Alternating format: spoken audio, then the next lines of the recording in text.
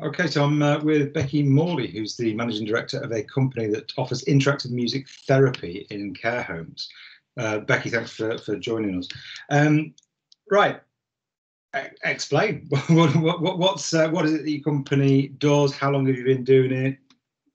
So my company is called Musical Moments, um, and what we do, we're going to care homes, mainly care homes, but we work with loads of different uh, community groups um, all across the country now, um, and we provide interactive music sessions. So we use music as either like a way of therapy, especially for people who've got dementia, or use it as a way to help people connect in the community. So we do a lot of work with, uh, like I say, not just older people. We work with maybe groups of people with mental health issues, so we can help obviously um, them to communicate using music. So it's a really nice job, and uh, it'll be 10 years um, in a few months, like September next year. So we'll be. Oh, right, wow. So that, that's quite quite a good, good long while. Um, so, so, do you have uh, a number of people that work with you across the country to to deliver these things? Yeah, so it, it was something that I started off myself. It was my own idea. Uh, the idea came from um, my nan.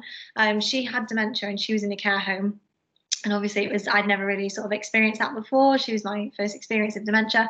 Um, and I did music. Music was my subject that I wanted to do. I loved it at school. It was the only subject I really sort of engaged with really. Um, and I didn't really know what I wanted to do with it. I knew I wanted to study music, but I didn't know what direction and what career path I wanted to go down. So I did my music degree and then um, still wasn't sure. Um, but I hmm. did community music placement while I was at uni in my yeah year and that was doing music with people in hospitals care homes schools prisons like we worked with loads of different groups and did community music with those groups again for the same reason that we do now and then i went to my nan's care home when i'd finished uni and offered to do a sing along and a bit of music with them and the care home really enjoyed it and said um, that was great. Can we book you again? How much do you charge? And I didn't know what to say.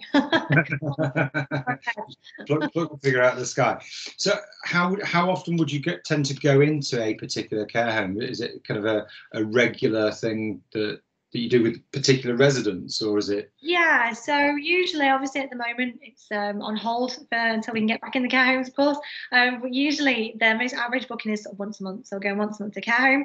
Others will have us in every other week, and then I have about four or five clients that I go to on a weekly basis as well. So they really do value the service and they get a lot out of it, and they obviously see an improvement in the residents when we go in. Obviously, for us to go in so so frequently as well. Absolutely, so. absolutely. And, and when when you say you've got these. Uh, few residents.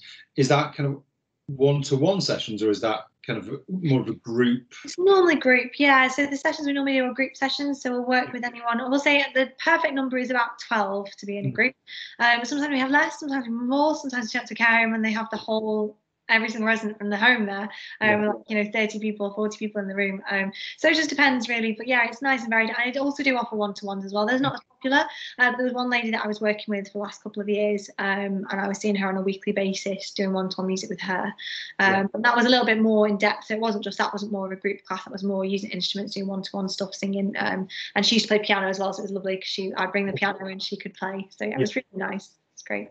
So, so what um, instruments do you play? Um, I was first study violin, so that's what I've been playing since I was seven. Um, didn't take it seriously until I was about 14. Then when I got 14, I was like, yeah, I really want to do this now. So I actually did practice from there properly. Put some effort in. Um, that was my study. My first study uh, was at uni was violin. I also did take piano as well, and um, I can now play the ukulele, which is part of the session. So that's part of going. It's just a really portable instrument and right. really to use, and uh, it's just good function. Can, it's easy to play, so it's yeah, yeah. And I'm not quite mastered. I have a guitar, haven't quite mastered it yet though, so it's a bit harder than the ukulele. Guitar's the next one then. Yeah, hopefully.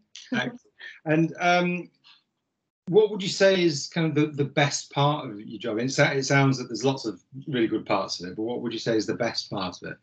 Oh, it's definitely it's what I miss the most at the minute. Actually, is the reactions that you get from the residents. It's so much fun because how we do it is we have a different session. I change it every week, so I've got like I've got hundred session plans that we do, right. uh, and we're always creating new ones as well. Um, but the I will normally change it every week because I I go to about between sort of 10 and 14 care homes a week that I'll do. Oh, so okay. I do quite a lot. Um, so obviously after a week, I'm ready to change the session anyway. so yes, yeah. a bit sick of it.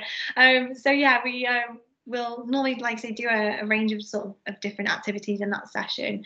Um, and just the reactions you get are incredible, especially when you work with people with dementia.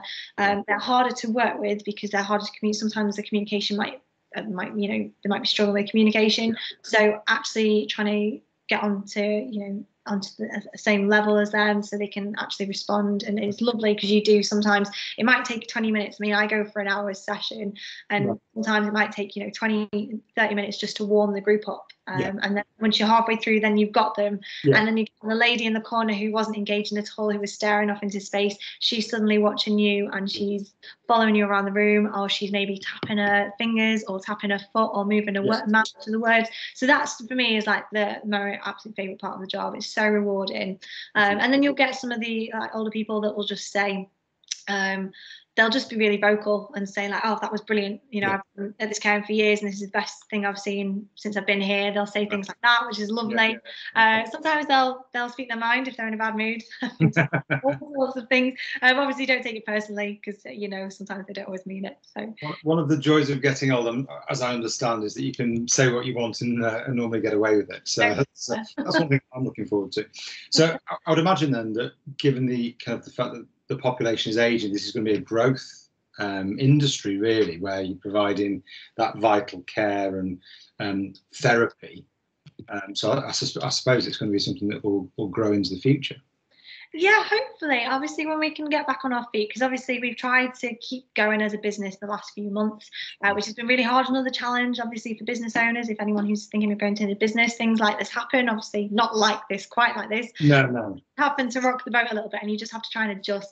Yeah. Um, we have tried to do like online sessions, and we've done like an online package. It's not quite gone down as well because, as we hoped, because obviously our business model is so heavily based on interactive session, and obviously when you're online, you lose a lot of that unfortunately. So we are just sort of playing a waiting game and waiting to get back at the moment. Uh, but yeah, hopefully we're hoping to grow. I mean, it was just me to, to begin with. I started the business myself, and then after like three or four years, I was so busy, like I had that many carrying bookings. I'd look to my diary and I'd be like three months booked up. Uh, and carriers would call me like, we want to have you in to do the entertainment. And I couldn't. So then yeah. obviously the next logical step was take on staff. So I did. I had at one point, I, I had about seven staff was mm-hmm. I had at one point. Um, that did get quite stressful because it was, I was still, I was managing everyone. I was managing the whole business. I didn't have anyone else to help me. I was doing all the admin. I was doing my sessions. So yeah, it just got to a point where I thought I need to change it up a little bit here because I'm struggling to cope. So I then changed the model, switched it up, and turned it into a franchise. Oh right, okay. Yeah, franchise the model. So yeah. obviously that's where I everybody who was employed sort of swapped roles. They became like their own business owners then. So they were owning their own business and they actually made more money because they weren't just getting paid uh, like a wage. They were actually getting paid for their full session. Um, and I didn't have as much responsibility, so I still have responsibility over them now, but they have they're more they're their own boss, so they can do what they want. I'm there as a guide rather than a boss now, which is nice, and I can advise them on stuff when they need help, uh, help them with their marketing, help them grow, um, and it'd be nice. So it's good to see them grow. Like franchisees are really good. I have 15 franchisees now. We go as high up, high up far up as up north as Glasgow, and then as down south as far as Surrey. Uh, so, yeah, we're all sort of all over the place. So yeah. ideally, I'd like to grow um, and have a few more around the country would be nice. Um, because like I say, we're a good little community at the moment. We're growing. Obviously, the brand is growing across the country as well, especially in the care industry. Quite well known on all of the like leading activity providers well in that in the industry. So it'd be nice for us to grow, and then it's also nice to see my franchisees grow because obviously they are their own business. Some of them, I think, two or three of them actually have their own staff working for them as well. So it's a nice little family that goes down. So yeah, they're actually doing really well because they're they're working loads of sessions. I've got some that are working, you know, my really high performers have got like two staff members uh, included and, and themselves as well. So yeah, there's loads of scope for growth, which yeah. is great. So so if if for example we have pupils at uh, CCSC who are interested in music I mean, what would say, say they, they wanted to join you and, and maybe take up a franchise? What would you encourage them to do? Um, well, I would certainly say get really proficient with the instrument. Um, it's a very sort of um, personality job, so you do need a lot of like your own personality. You need to be quite confident. Um, with with with other people and, and, working with groups so not be not be afraid to address a big group um, which is really important um obviously and music is a really good, good skill to have. I'm glad I did it. I don't think I would have be, doing what I'm doing now with if I hadn't studied music I definitely wouldn't have gone down that path. Um, but like I say the the career path of community musician is is massive. It wasn't a thing really about 10 years ago and I did say when I started doing it, I could see it was going to grow. And I said in like 10 15 years time community music is going to be a career path. And it is now I believe quite a few I think there's like two unis or three unis that offer it as a degree course now. Really? that didn't used to exist until about five years ago. So Yeah. you can study community music as a degree now uh, which is great. It's a really great skill to have, and there's a lot of work. Like people don't realise, and because it's such a new industry, Mm. people think they like say they see music and they think teaching or performing, and that's all you can do. But there, like I say, there's this whole new industry now of community music, and people do want it, and there are people out there that do want to have the services. Um, so not just our service, like other community musicians, there's a lot of scope for it with other different community groups. So I mean, like I say, we've only touched the surface with working with older people, really. I mean, there's so many other community groups that you can work with. Yeah, yeah. So yeah, there's absolutely loads you can do. So it's, it's a great career option for those who want to do music and who are worried that there's just two career paths you have to take, because there isn't. There's an extra one now. A lot more out there. Brilliant. And just one more question from me. Um, when you were at school, or when you were like little, what was it you wanted to do? What was what was your dream job when you when you were younger? Uh, that's a really good question. Uh, I'm not really sure. Um, I think, well, like I say, when I get hit about 14, that was when I was like, yeah, I want to do music. And I didn't want to be a performer, actually. I did want to go and play professionally. So I did study classical music and I wanted to, my dream at that age was to be in orchestras and Yeah. go on tour with like the big orchestras and stuff. But um, yeah, I realised it wasn't for me. When I got to music college, I was like, no, this isn't me.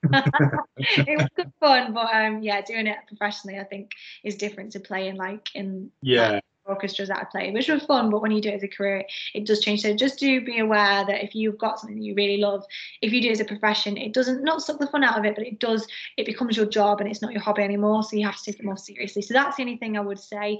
Um, you will still enjoy it, but it, you know, you have to. It's not a hobby anymore. It's a job, and it Yeah. yeah. does take a little bit of something from it. But yeah, if you love it to start with, that's always a really, really good Yeah. starting point. So yeah, definitely do something that you love and go down that route 100%. Fantastic. Uh, Beckie, thank you so much for your time. Really appreciate it. You take care. Can you too? Bye.